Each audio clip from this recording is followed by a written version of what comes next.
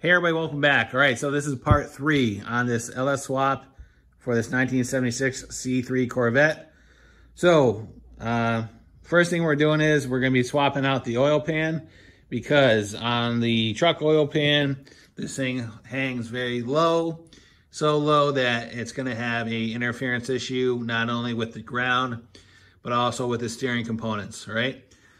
So this is a well-known issue, and what you want to do is you want to uh, swap out the oil pan, oil pan. So this is a clone of the Holley 302-2 oil pan, which has a shallower sump and a shallower uh, midsection for clearance of the steering components, all right? So this oil pan came off of Amazon. It was 180 bucks. It comes with the pan, the pickup tube, gaskets, and the hardware, right? Hardware's right there. So while we go ahead and rotate this engine, we'll uh, take the existing oil pan off and I'll show you what you need to do to get this thing installed. All right, so we have the engine uh, rotated and uh, full transparency. I've already had this oil pan off because when I first bought the engine, I actually pulled the pan off. I looked at the bottom and made sure there was, there was nothing going on with it. So there's not a gasket on it, but I figured I would just go through process of what you need to do to remove the oil pan. It's pretty straightforward. Um, there's just a bunch of 10 millimeter bolts holding the pan on. So what we're gonna do is we're just gonna take those out.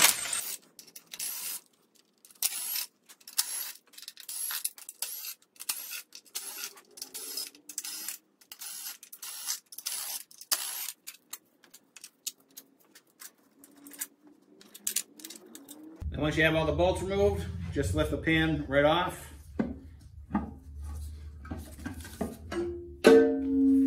Next thing we're gonna do is we're gonna remove the bolts so they're holding down the, the uh, windage tray. These are 13s.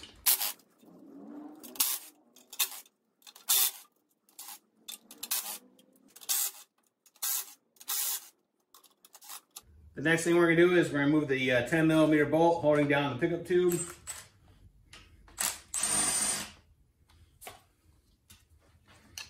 Go lift off the tube. Make sure the O-ring comes out. And then go ahead and remove the windage tray.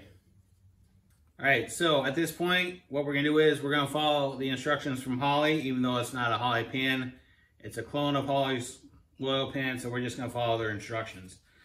All right, so uh, the factory windage tray, due to the uh, the lower profile in the front, the the front of the windage tray needs to come off. So all we're gonna do is we're just gonna cut the, the front of it off right in front of the, uh, the second set of studs. So I'm gonna do is I'm just gonna take a paint pen and then I'm just gonna just use this to make a line.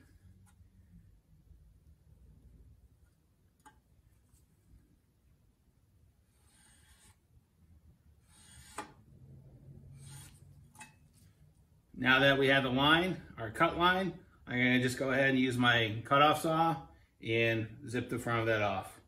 All right, so after about 10 or 15 minutes on uh, using the angle grinder, managed to cut that down and cleaned up all the edges, make sure there was no burrs on it.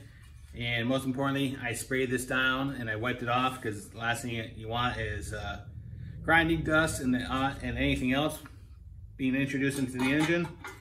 So I'm gonna put the, the windage tray back on there real quick. And what we're gonna do at this point, we're just gonna take the oil pan. We're just gonna drop it down there. Get it into the rough position and make sure it's sitting flat. All right, so with the oil pan on there, I'm just pushing down on the corners, making sure it's sitting flat, There's no rocking on it. So at this point, I think we're pretty good. I'm modifying the windage tray for the pan. The next thing we have to do is we have to take a, take the, uh, the pickup tube and mount it on there and make sure that there's no interference with the tube to the tray. And I'm just gonna put the tube in there without the O-ring for now until the pickup. And all we're gonna do is we're just gonna put it down there. And we can tell right from there that we have an interference with the oil pickup tube, right? So because the, uh, the windage tray still exists there, won't allow it to sit flat. So what I'm gonna do is I'm just gonna take my paint pen and I'm gonna mark it where I think we're gonna have to relieve it, which is right about there.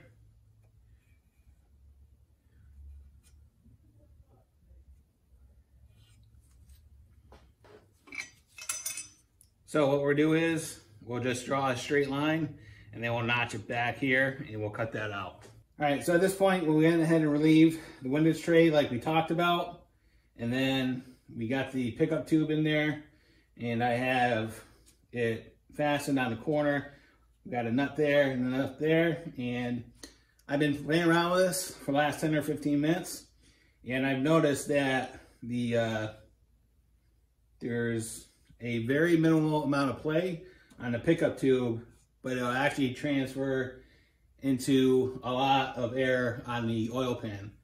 So I've been going back and forth with it, going back and forth with it, and what I've noticed was that the pickup tube, when I would tighten it down, um, it was actually hitting the corner of the windage tray. And as a result, when I went ahead and tightened it up, it would basically kick the oil pickup tube out this way and then it would uh, conflict with the oil pan. So at this point, I relieved it and I'm going back with another test fit. What we do is we're gonna drop it on there.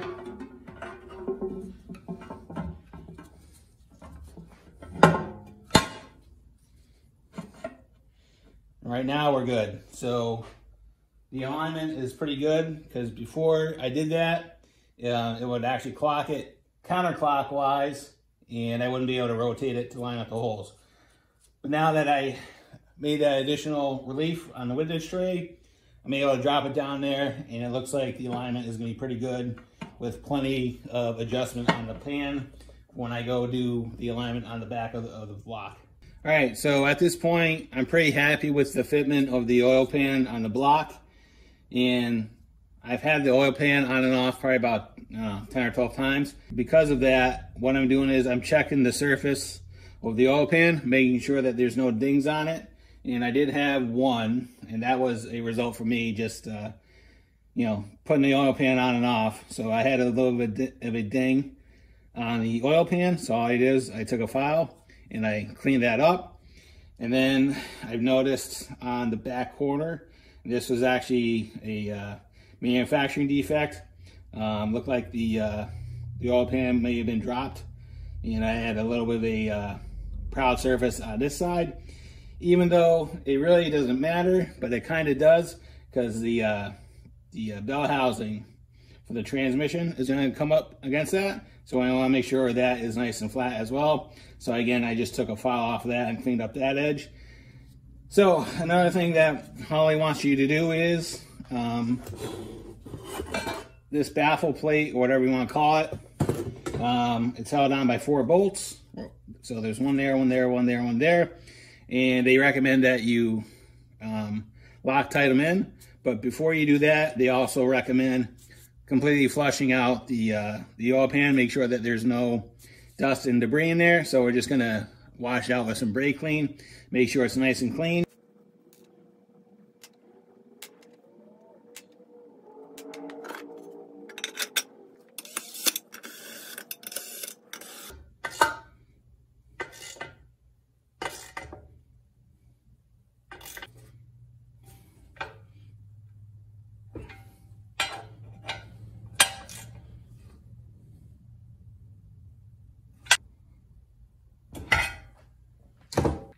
All right, so the next thing we're gonna do is we're gonna install this little oil cooler block off plate because we're not using an oil cooler for this install. And we just clean it off with some brake clean.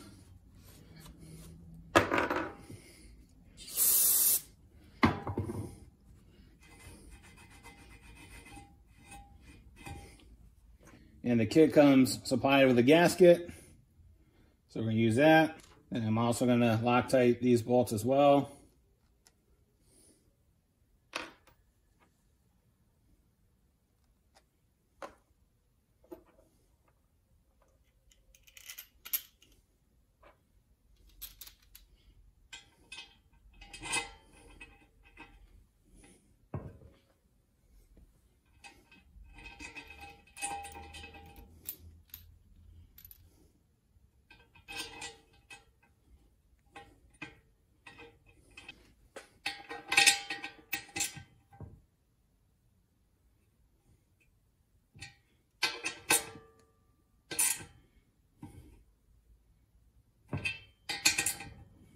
All right, so the next thing we're gonna do is we're gonna install the uh, the oil filter fitting. And I am going to put a couple wraps of Teflon tape on the threads.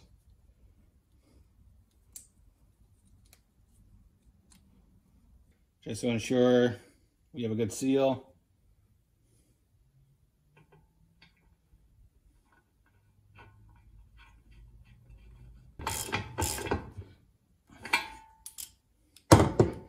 So I just got it snug for now. I'll actually go to final torque once we got it on the uh, on the engine. All right, so at this point we are ready to install the oil pickup tube into the oil pump and make sure that you use the a new O-ring because this O-ring is very vital in maintaining oil pressure on it. If you try to reuse a O-ring that you have, more likely you're gonna have a failure or you're gonna have low oil pressure. So we've gone ahead and cleaned the surface of the oil pump. And all I'm gonna do is I'm just gonna take some WD-40 and saturate it. And then we wanna make sure that we don't pinch that O-ring when we put it in there. So we want a good solid engagement in there.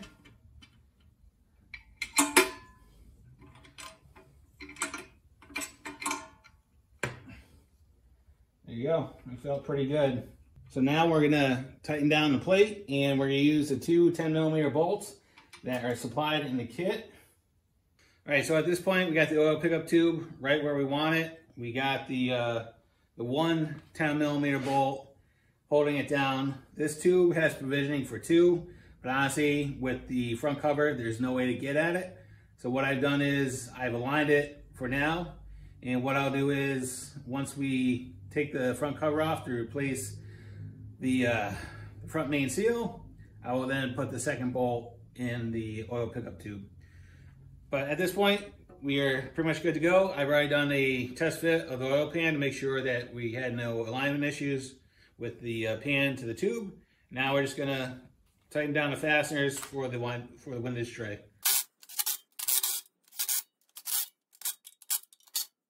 All right, so at this point, we're ready to uh, drop the gasket on and then set the pan on. So um, you wanna take a little bit of silicone, put it in the four spots where the rear cover and the front cover meet the, uh, the block. And once you've done that, now we're ready to set the gasket on.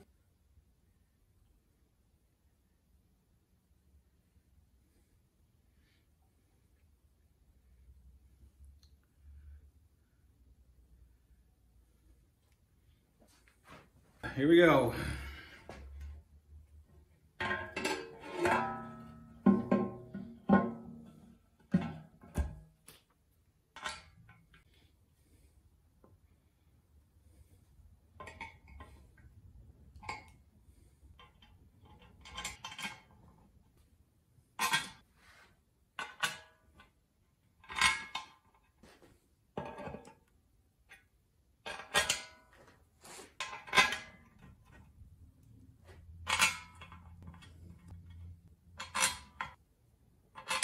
All right, so before you send the oil pan to your final torque, one thing you want to do is you want to come to the back of the engine and check the alignment from the oil pan to the block because there is some adjustability on the oil pan. And one thing you want to do is make sure that the oil pan is lined up with the block because when the transmission is mounted, it's going to basically made up to that surface and if it's not aligned correctly, it's you're not going to be able to uh, get the uh, transmission seated up against the engine. So make sure that is nice and aligned and you're good to go. All right, so that's the first of many steps as far as getting this engine into that C3. Not that big of a deal, pretty straightforward, other than the, the uh, windage tray. It's pretty much a standard oil pan replacement process. So at this point, we are ready to go. Uh, one thing to be aware of, that the oil filter adapter is for a Gen 4. So when you do go to buy an oil filter, just tell them you have a 2008 Silverado with a 5.3, and that's a Gen 4. So, because if you try to get one for a, a Gen 3, you can notice that this is bigger. So that's for a Gen 4. And other than that, we're pretty much good to go. So at this point, if there's any thoughts, questions, or concerns as far as what I did, go ahead and leave a comment in the comments box. I'll get back to you as soon as I can. And as always, thanks for watching and have a great day. See ya. Thanks.